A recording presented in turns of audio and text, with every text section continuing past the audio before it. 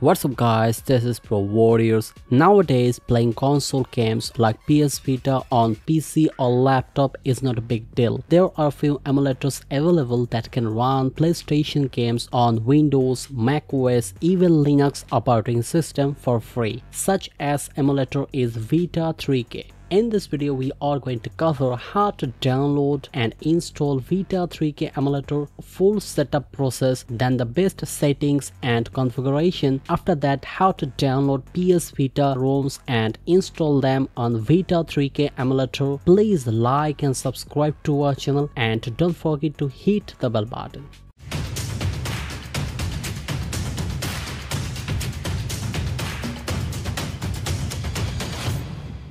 First, open a browser on your computer, then type on the URL bar vita3k.org. I will leave the link in the description. Before downloading the Vita 3k, first thing we are going to do is check out the minimum and recommended requirements for the Vita 3k emulator. On the Vita 3k website, we will find the quick start menu at the top bar. Just open it in a new tab, then scroll down until you see the section called hardware requirements. Just have a look at the minimum and recommended requirement. Vita 3K is the least demanding emulator. You just need 4GB RAM and GPU is not mandatory. My concern is to show you another very important requirement. Vita 3K emulator requires the latest version of Microsoft Visual C++.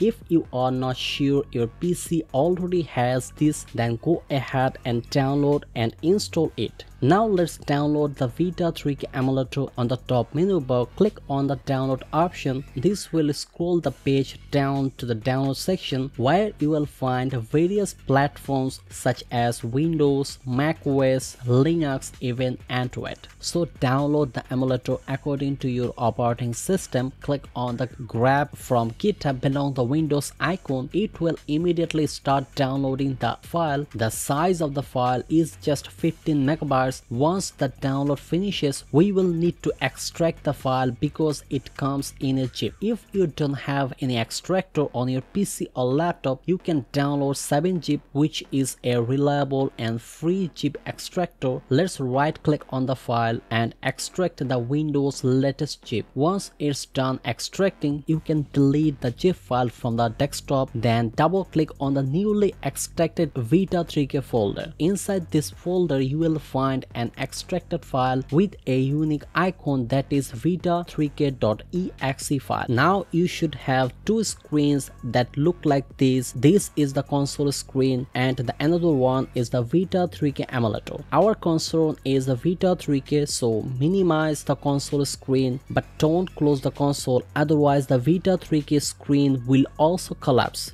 First select the language you prefer to use this app then select a path where you would like to store the data of Vita 3K just to create a new folder and give a name like Vita 3K. Now Vita 3K will ask you to download firmware and font package which are mandatory components for Vita 3K. If you click on download firmware a new tab will be open and it will take you to the PlayStation website. PlayStation provides us with the system software click on the download update. If it's not responding, then right click on it, then open a new tab. It will start downloading the system software. Now go back to the Vita 3K. This time click on download font package. It will open a new tab in the Chrome browser and start downloading the file. It will take few minutes to complete the download and it's depend on your internet connection. You can see I have successfully downloaded the both files. Now we need to install them gradually. To do that, click on the install firmware files. It will open the file manager on your computer then install them gradually. It will take roughly few seconds to install the files. Now you can click on next button. You can customize the interference of Vita 3K such as icon size, grid mode, info bar visible, etc. If everything seems fine, click on the next button. So we have completed the initial configuration of Vita 3K. Then Vita 3K will welcome you with a big notes. Before closing it, make sure you have unticked the show next time option. Vita 3K will encourage you to create a user profile just give a name and create a profile. Don't forget to tick on auto automatic user login then start the Vita 3K emulator. So finally we are in the Vita 3K emulator. Before we are going to play any games let's introduce the functions and options of Vita 3K emulator. There is an option file at the top right corner that option used to install firmware, games and licenses. It's better to be mentioned you can only install games using PKG and GIF format. At the middle top bar there is a configuration option then click on the settings. Under the option of core I suggest to use the automatic modules. You can also try the manual. Now switch to the CPU. Here you have two backend renderers Dynarmic and unicorn. Dynarmic is preferable for me. Make sure the optimization option is enabled. Under the option of GPU you can change the backend to OpenGL or Vulkan. You should try OpenGL because it can run most of the games but if you see lag or your computer struggling to boot then come back and change it to Vulkan. V-Sync and